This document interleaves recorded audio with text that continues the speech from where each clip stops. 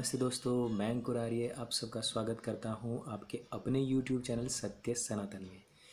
तो दोस्तों, आज हम इससे पहले की बात को आगे बढ़ाएँ। आप सबके लिए एक प्रश्न है, और ये प्रश्न मेरा नहीं है, ये प्रश्न मेरे छोटे भाई का है। और प्रश्न ये है कि नॉर्थ से लेकर साउथ तक एक कथा प्रचलित है जो हम करते हैं सत्य नारायण व्रत कथा। तो उसका प्रश्न ये है कि सत्यनारायण व्रत कथा में व्रत की कथा कौन सी है? मीन टू से उसका एक क्वेश्चन ये बनता है कि लकड़हारा कथा सुनता है, फिर अपने घर आता है, कथा करता है, फिर वो पैसे वाला बनता है, फिर कलावती कथा करती है, लीलावती कथा करती है, और फिर सब मिल कर के लीलावती, कलावती और कलावती के पिताजी, कलावती के पति, ये सब मिलकर एक कथा करते हैं। तो वेयर इज़ द स्टोरी मतलब वो कथा कौन सी है जिसको वो करते हैं? क्योंकि यह तो करने का फल उसमें बताया गया है। करने का फल और ना करने का फल इस पूरी कथा में बताया गया है। तो उसने कहा कि ये जो प्रतिफल उनको प्राप्त हुआ है, वो हमको तब प्राप्त होगा जब हम वो कथा करेंगे जो एक्चुअल में कलावती ने की थी। तो आ, अगर किसी के पास वो कथा हो तो वो मुझे भेजने का कष्ट करे कृपा करे और उसमें जितना भी एक्सपेंस होगा मैं उनको भेजूँगा और यहाँ से हम अगली बात अपनी शुरू करते हैं। अगली बात ये है कि पिछला जो हमारा चैप्टर जो चला हुआ था चैप्टर में हमारी बात हुई थी जाकिर नाइक के विषय में और जाकिर नाइक और हिंदुस्तान के अंदर अभी भी उसका फैला हुआ नेटवर्क उसके विषय में हमारी बातचीत हुई थी। तो इस पूरे नेटवर्क को, जो पूरा सपोर्ट है, वो भीम आर्मी का भी है और वामपंथियों का भी है और कहीं ना कहीं इसमें क्रिश्चियनिटी का भी पूरा पूरा योगदान है। तो उसके साथ ही साथ हमारी बात चली थी कि दशम अवतार। तो दशम अवतार पे भी मेरा मेरा खुद का एक क्वेश्चन ये बनता है कि जब हम कहते हैं कि सतयुग में सत्य का युग था और उस समय पाप बहुत कम था। फिर दूसरा दूसरा जो युग होता है वो द्वापर होता है, तीसरा युग जो होता है वो त्रेता होता है, और चतुर्थ जो युग बताया गया था वो है कलयुग। तो थोड़ा सा झोलमोल यहाँ भी है, कुछ लोग सतयुग, त्रेता युग, द्वापर युग और फिर कलयुग मानते हैं, लेकिन एक्चुअलिटी अगर उनको देखा जाए तो सतयुग, फिर द्वापर, दूसरा युग, त्रेता, तीसरा युग और चौथा कलयुग इस प्रकार से मानते हैं, जिस प्रकार से भी आप मानते हो, लेकिन कलयुग चौथा युग है, ये सब मानते हैं, और सतयुग प्रथम युग था, ये सब मानते हैं। सतयुग में पाप बहुत कम था, ये सब मानते हैं, और कलयुग में सबसे ज़्यादा पाप होगा, ये सब मानते हैं। तो अब हम करते हैं कैटेगराइजेशन के ऊपर बात। तो अवतार हुए किस तरीके से सबसे पहले प्रथम हुए मत्स्य अवतार, उसके बाद में हुए कच्छप अवतार, उसके बाद में हुए वराह अवतार, और वराह अवतार के बाद में फिर हुए नरसिम्ह अवतार। और ये सभी अवतार जो थे तकरीबन चार पाँच अवतार, वो सत्युग में हुए। हिंदू माइथोलॉजी ये मानती है कि जब जब बहुत ज़्यादा पाप बढ़ जाता है और जब जब धर्म की हानि होती है, साधु संतों साधु संतों का नष्ट होना शुरू हो जाता है तो उस समय विष्णु भगवान अवतार लेते हैं। और दूसरी तरफ़ हम ये भी मानते हैं कि सतयुग में किसी भी प्रकार का पापकर्म नहीं था। फिर आता है दूसरा युग, यानी कि द्वापर। और द्वापर में सिर्फ़ दो अवतार होते हैं और उन दो अवतार को बोलते हैं राम और परशुराम। और फिर त्रेता युग, वहाँ सिर्फ़ श्री कृष्ण का अवतार बताया गया है।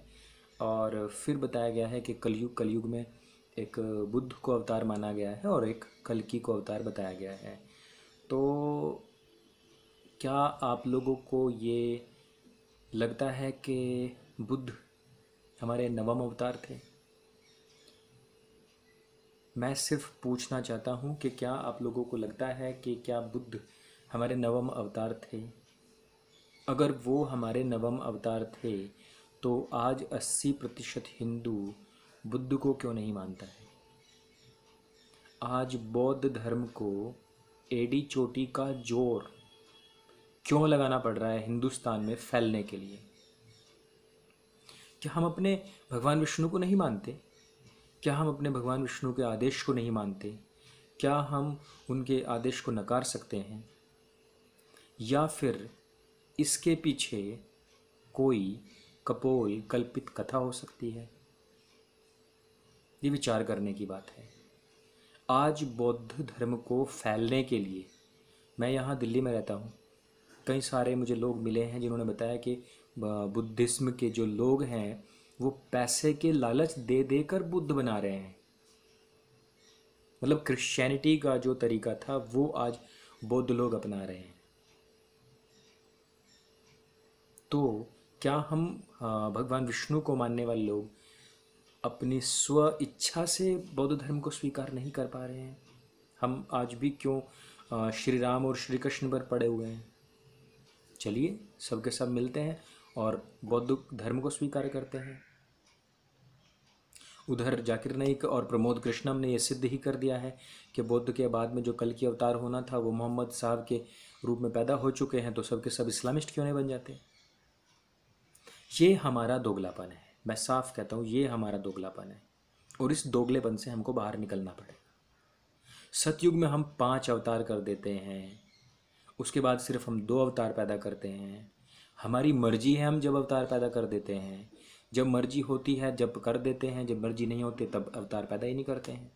पाँच अवतार की आवश्यकता आज कलयुग में होनी थी, लेकिन कलयुग में एक अवतार हुआ है, दूसरे के ऊपर अभी भी कॉन्फ्लिक्ट है। बहुत सारे हिंदू मानते हैं कि कल के अवतार अभी तक नहीं हुए और वो होंगे। कब होंगे? क्या कलयुग की पराकाष्ठा नहीं आ चुकी है? क्या जो कलयुग के जो सिम्टम्स भविष्य पुराण में लिखे गए थे, क्या वो पूरे नहीं हो चुके हैं? बात की सत्यता को समझिए। और बात की सत्यता ये है कि अवतारवाद की ऐसी कोई स्थिति है ही नहीं।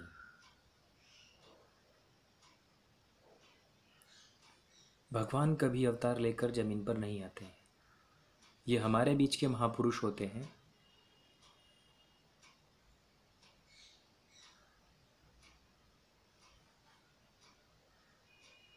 आप एक छोटी सी बात बताइए। कोई अपनी उन्नति चाहता है या अवनति? जिस परमात्मा में, जिस ईश्वर में ये पूरा ब्रह्मांड व्याप्त है, जिसका कोई आकार नहीं है, जो सर्वव्यापक है, सर्वनियंता है, वो मात्र एक छोटे से एरिया को ठीक करने के लिए गर्भ की यातनाएँ झेलेगा, जन्म लेगा यहाँ आकर ये सब खेल रचाएगा। जब सब कुछ परमात्मा के ही हाथ में है, जब सब कुछ ईश्वर के हाथ में है, रावण बनाना भी उसके हाथ में है, कंस बनाना भी उसके हाथ में है तो पैदा क्यों करता है? जब वो पैदा करता है तो उनको मारता क्यों है? ये कभी आपने सोचा? ये तो एक फिल्मी स्टोरी लगती है। जैसे एक हीरो पैसे देकर कुछ गुंडे पहले भेजता है बोलता है कि जाओ, पहले सब कुछ नष्ट भ्रष्ट करो।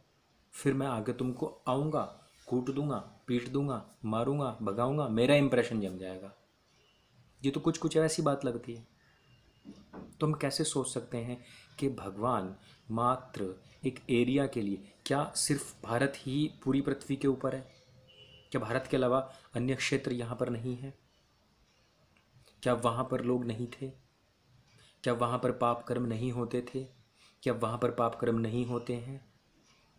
तो अवतार की जो अवधारणा है, वो सिर्फ़ हमारे ही देश में क्यों? दोस्तों, आप इसको बड़ी आसानी से समझ सकते हो। राम रहीम आज की स्थिति में आपके सामने पैदा हुई चीज़। है आप ही के सामने जेल भी गया। क्या हुआ था? उसने खुद को गुरु गोविंद सिंह घोषित कर दिया था। उन्हीं के जैसे वस्त्र पहन लिए थे। एक लंबे समय लंबे समय पहले की बात है।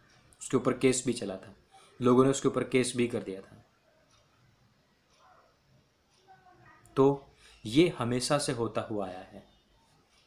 गुरु गोविंद सिंह साहब हमारे ही बीच के एक व्यक्ति थे। गुरु तेग बहादुर हमारे ही बीच के एक व्यक्ति थे। गुरु हरकिशन सिंह हमारे बीच के एक व्यक्ति थे। यहाँ तक कि वीर बंदा बहादुर हमारे ही बीच के व्यक्ति थे। झांसी की रानी तात्या टोपे भगत सिंह, चंद्रशेखर आज़ाद भाई राजीव दीक्षित, सुभाष चंद्र बोस महर्षि दयानंद सरस्वती, ये हम सबके बीच के ही व्यक्ति थे। क्या इनकी तेजस्विता में, इनके कल, इनके त्याग में किसी प्रकार की कोई कमी रही है? क्या इन्होंने हमारे देश की रक्षा नहीं की? क्या जब धर्म की हानि हो रही थी तो इन्होंने उसके खिलाफ हथियार नहीं उठाए? क्या भगत सिंह हँसते हँसते फांसी नहीं झूल गए? क्या अपने आन बान की रक्षा के लिए पद्मावती ने जौहर नहीं किया? क्या अपने देश की रक्षा करते करते रानी लक्ष्मीबाई वीरगति को प्राप्त नहीं हुई? क्या महर्षि दयानंद सरस्वती वैदिक सभ्यता को पुनः स्थापित करने के लिए वीरगति को प्राप्त नहीं हुए? लेकिन किसने उनको भगवान का अवतार का दर्जा दिया? मुझे लगता है कि जिस प्रकार से गुरु गोविंद सिंह साहब को इतना लंबा समय गुजर चुका है तो हो सकता है हज़ार दो हज़ार साल के बाद आज की परिस्थितियों को देखते हुए जो महापुरुष हो रहे हैं, कोई आगामी भविष्य में इनकी कथाएँ सुनकर खुद को उनका अवतार घोषित कर देगा? तो कौन आकर हज़ार साल पीछे देखने वाला है कि कौन हुआ था, कौन नहीं हुआ था? लेकिन ये अवतारवाद को चलाने के लिए पूरी एक टीम होती है, जिनका पेट इसी अवतारवाद की कथाओं को गा गा कर भरता है। आज इंसान को, आज देखिए आपको जिस प्रकार की स्टोरी चाहिए, उसी प्रकार की स्टोरी आपको सुनाई जाती है। अगर आप खुद में सोचिए, अगर आप अवतारवाद में विश्वास रखते हैं तो आज ही या तो आप बौद्ध धर्म को स्वीकार कीजिए या फिर इस्लाम को स्वीकार कीजिए और या फिर इस अवतारवाद पर पुनः विचार कीजिए, पुनर्निरीक्षण कीजिए कि इसके पीछे कोई झोल तो नहीं है, कोई झूठ तो नहीं है। ये एक बहुत ही गहरा विषय है और आज के समय हमारा जो हिंदू सभ्यता, जो सत्य, सनातन, वैदिक धर्म जो था वो बहुत तर्कशील था, लेकिन आज इसको इन्फ्लुएंस किया जा रहा है। इसको इस्लाम की पटरी पर लाया जा रहा है कि अगर कोई भी तर्क करता है तो उसकी गर्दन काट दो। मैं इसके सख्त खिलाफ हूँ। मैं ही नहीं, हमारा वैदिक धर्म इसके सख्त खिलाफ है। वेदों में तर्क वितर्क करने के प्रमाण दिए गए हैं। दर्शनों में तर्क वितर्क करना सिखाया गया है। हमारी पूरी सभ्यता की स्थापना ही तर्क वितर्क के आधार पर हुई है। हम कैसे तर्क वितर्क को नकार सकते हैं? ये तर्क वितर्क को नकारने की जो बात करते हैं, वो वो आपके गुरु पोप और पंडे हैं, जो खुद धर्म को नहीं जानते और वो जो चाहते हैं कि हर तरीके से धर्म के नाम पर मोनोपोली सिर्फ़ हमारी चलती रहे, वो आप लोगों को इन्फ्लुएंस करते हैं और कहते हैं कि धर्म के बारे में अगर कोई कुछ भी कहता है, उसकी गर्दन उतार दो, उसका विरोध करो, उसके साथ में मार पिटाई करो। आज आप पद्मावती के खिलाफ खड़े हैं। पद्मावती एक मूवी बन रही है। ऐ मेरे हिंदुओं, अगर तुम इसी तरीके से कभी पहले ये पोप पंडो और बोब देव की भागवत कथा के खिलाफ खड़े हो चुके होते तो आज हमारे धर्म की इतनी अवनति ना होती। आज हमारे धर्म की तरफ़ आँख उठाकर कोई देखने वाला ना होता। लेकिन तुमने नहीं किया। तुम बड़े बड़े पंडाल लगाते हो, भरे रस्ते पंडाल लगाते हो, पूरा रास्ता रोक कर अपने गुरु को बैठाते हो, और तुम्हारा गुरु क्या समझाता है तुमको? कि श्री कृष्ण जब जवान थे, जब वो जवान थे तो वो गोपियों के कपड़े चुरा कर चले गए और भागवत पुराण में लिखा हुआ है, वो चुरा कर गए और जब स्त्रियों ने कहा, गोपियों ने कहा कि हमारे कपड़े वापस कर दो तो उन्होंने कहा, नहीं, तुम बाहर निकलो। और जब स्त्रियों ने अपने अंग ढके अपने हाथ से तो उन्होंने कहा कि तुम्हारा मेरे प्रति समर्पण पूरा नहीं है, अपने हाथों को ऊपर खड़ा करो। तो बताओ मेरे हिंदुओं भागवत पुराण के अंदर इतनी गंदी बातें लिखी गई हैं भगवान श्री कृष्ण के बारे में, और तुमने आज तक आवाज़ नहीं उठाई। आज तुम एक फ़िल्म के खिलाफ खड़े हो। ये तुम्हारी अवनति तुम्हारे खुद के विचारों के कारण हुई है। अभी भी समय है, जाग जाओ, और अपने धर्म को तर्क के आधार पर, तर्क की कसौटी पर उसको कसो, और जो निकल कर आता है उसको स्वीकार करो। अथवा बातें बहुत हैं। स्वीकार करना, ना करना आपके हाथ में है। किसी भी पोप पंडे के कहने से, किसी भी धर्मगुरु के कहने से किसी बात को स्वीकार मत करो। क्वेश्चन करना सीखो, प्रश्न करना सीखो, प्रश्न करो बिना एग्रेशन के। उसको तर्क के आधार पर जांचो, तब स्वीकार करो। आज की बात में सिर्फ़ इतना ही। सभी का धन्यवाद। Like share subscribe bell icon बिल्कुल फ्री है। सत्य सनातन वैदिक धर्म की जय।